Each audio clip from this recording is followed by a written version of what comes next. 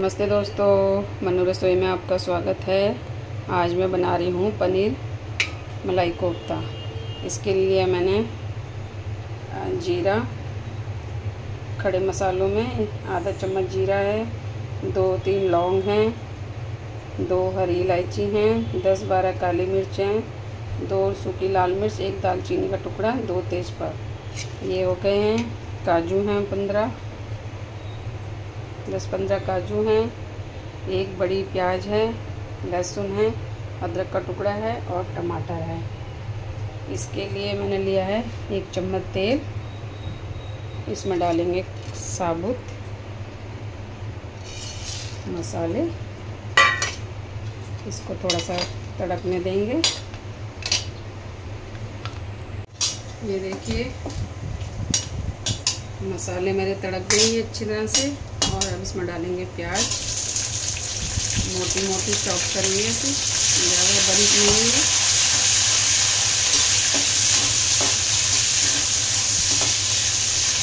इसमें डाल देंगे अदरक। ये लहसुन थोड़ा सा।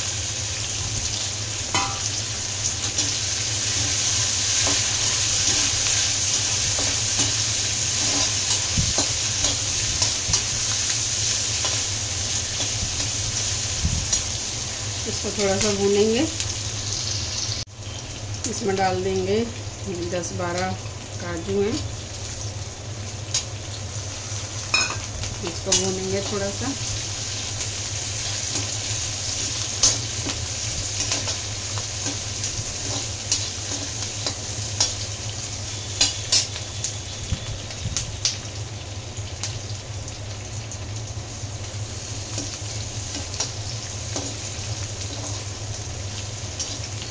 थोड़ी सी प्याज हल्की सी मुलायम हो जाए, जब तक इसको भूनेंगे।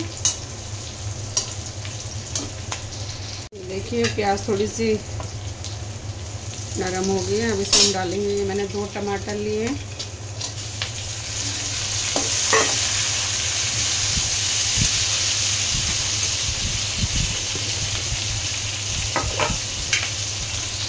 देखिए, इसमें डालेंगे थोड़ा सा नमक।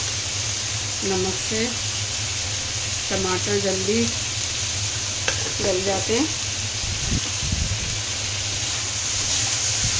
इसको थोड़ी देर, दो तीन मिनट इसको ढक के पकाएँगे।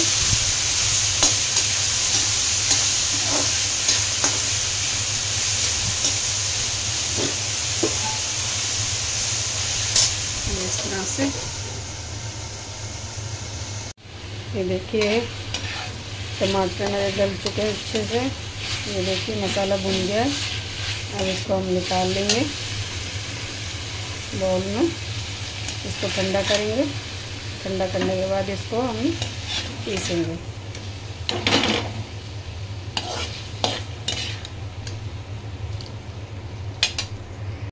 ये देखिए, इसको ठंडा करेंगे फिर इसको पीसती हूँ मैं। अब मैं दिखाती हूँ आपको। पनीर मैश करते हैं। ये देखिए, ढाई सौ ग्राम मैंने पनीर लिया है। ये देखिए, इसके लिए मैंने पनीर लिया है। 200 से 200 ग्राम से थोड़ा सा ज़्यादा है। और ये दो आलू लिए हुए, उबले हुए। एक कॉर्नफ्लोर लिया है। अब इसको हम मैश करते हैं। इसको हाथ से तोड़ लेंगे अच्छे से। ये देखिए, इस तरह।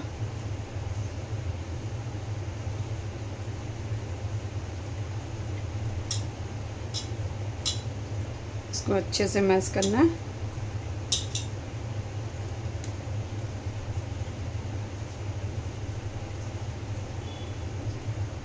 ये हो गया।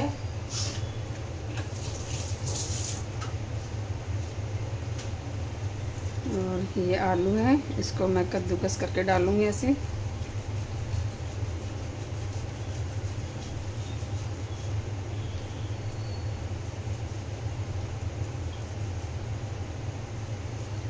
अच्छे से कर लेंगे इसको।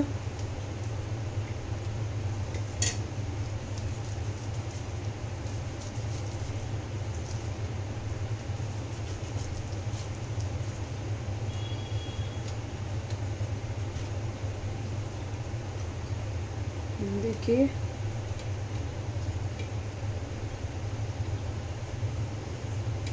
आलू और पनीर को मिला लेंगे अच्छे से। अब इसके अंदर हम डालेंगे ये मेरा दो चम्मच कॉर्नफ्लोर है, इसमें आधा भी डालूँगी। देखते हो, ज़रूरत पड़ेगी तो और डालेंगे।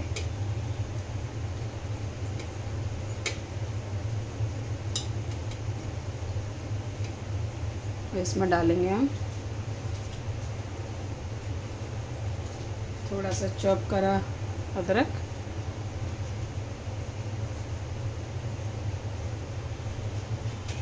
और ये धनिया।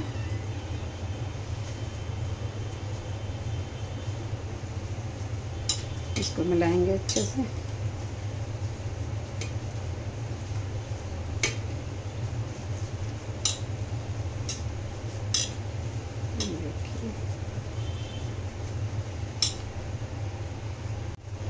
इसमें डालेंगे थोड़ा सा नमक।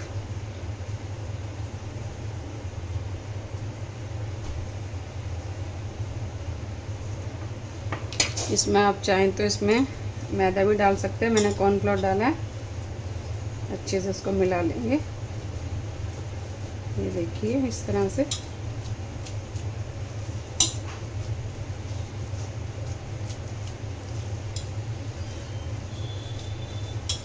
ये मिल गया। ये देखिए, थोड़ा सा हाथ में मैदा लेके अब इसके मन चाहे सेप आप दे सकते हैं। गोल बनाना चाहें गोल। थोड़ा सा मैदा में डिप करके और सूखा वाला मैदा, उसको ऐसे थोड़ा थोड़ा लगा के इस तरह से। ये देखिए। आपका जो मन करे आप वो सेब बना सकते हो। मैं इस तरह बना रही हूँ। ये देखिए। थोड़ा सूखा मैदा ले लेंगे इसको मैदे को लगा लगा के। मैदे से ये क्या है कि फटेंगे नहीं, बाकी तो हमने इसमें कॉर्नफ्लावर डाल रखा है।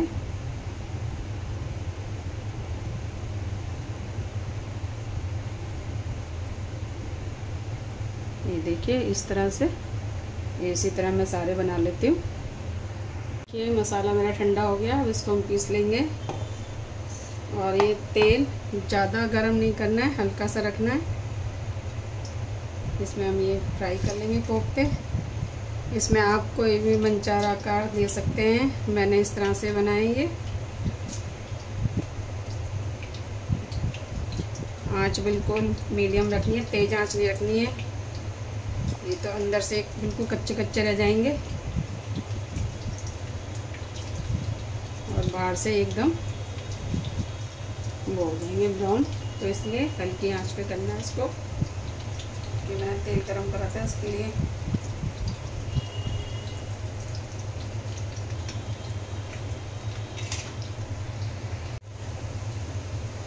ये देखिए, इतना ब्राउन करना है इससे ज़्यादा नहीं।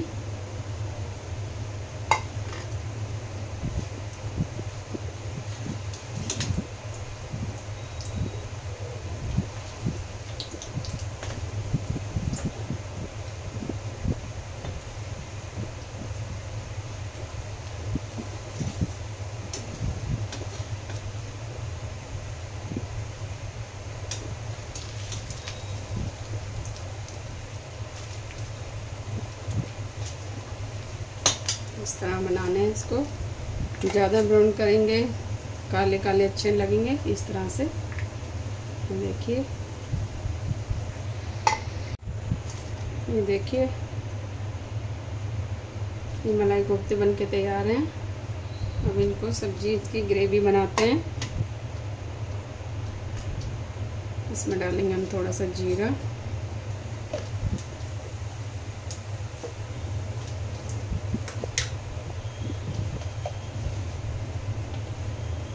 थोड़ी सी हल्दी हल्की सी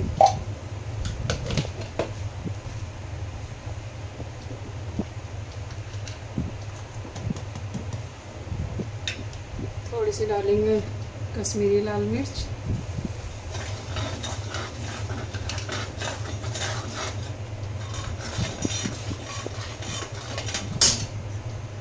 इसमें ये पेस्ट हमने बनाया था, ये डाल देंगे।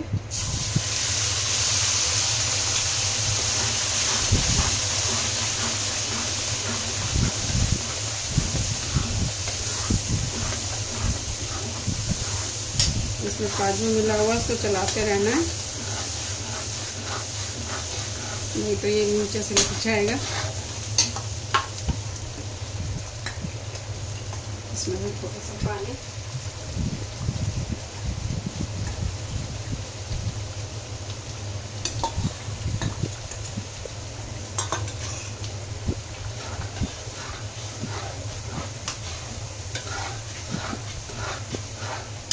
इसको अच्छी तरह से भूनेंगे। इसमें डालेंगे थोड़ा सा नमक। स्वाद अनुसार।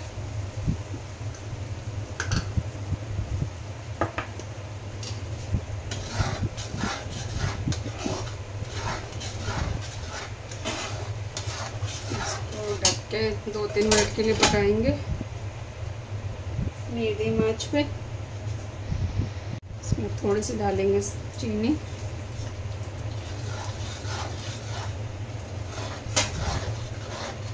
इसको पकाएँगे ढक के। दो तीन मिनट और। ये देखिए, ये मेरे घर की मलाई है जमाई हुई दो तीन चम्मच मलाई डालेंगे। क्रीम डाल सकते हैं, क्रीम नहीं है तो मलाई डाल सकते हैं। ये मैंने मलाई डाली है।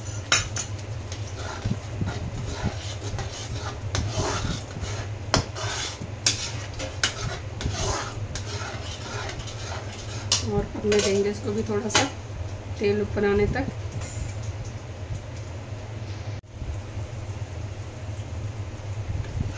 ये देखिए दोस्तों, मसाला मेरा भून चुका है। तेल ऊपर आ गया है। ग्रेवी अपने हिसाब से रख सकते हो। कम ज़्यादा पतली चाहिए, गाढ़ी चाहिए। मैं थोड़ा सा पानी डालूँगी इसके अंदर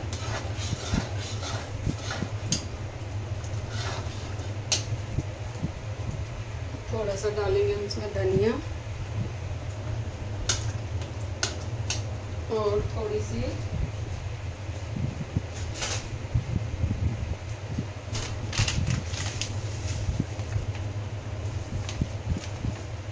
थोड़ी सी कसूरी मेथी डालेंगे इसको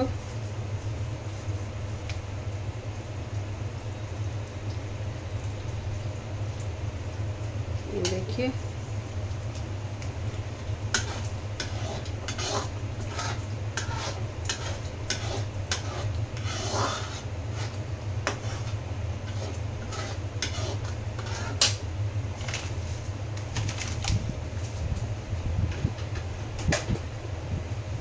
थोड़ा सा मैं डालूँगी इसमें गर्म पानी।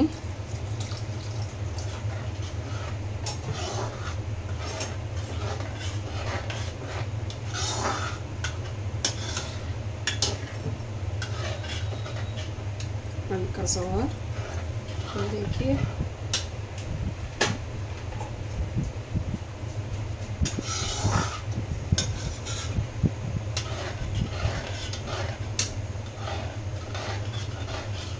ग्रेवी भी तैयार है।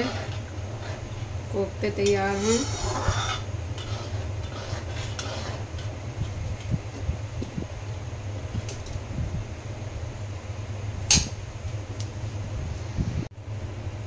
ये देखिए, मलाई कोफ्ता बन के तैयार है। अब इसमें ग्रेवी डालेंगे ऊपर से। इस तरह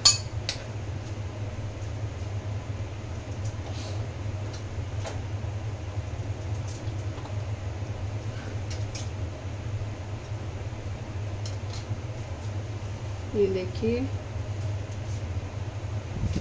इसमें डालेंगे थोड़ा सा धनिया। थोड़ी सी ये मलाई है।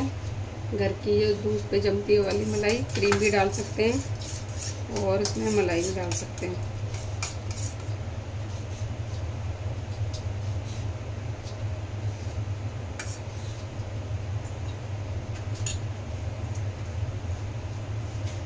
ये देखिए मलाई कोफ्ता बन के तैयार है। देखिए, मलाई कोफ्ता बन के तैयार है। इसको पराठा, लच्छा पराठा चपाती से खाइए। बहुत अच्छा लगता है उससे। लच्छा पराठे से ज़्यादा अच्छा लगता है ये।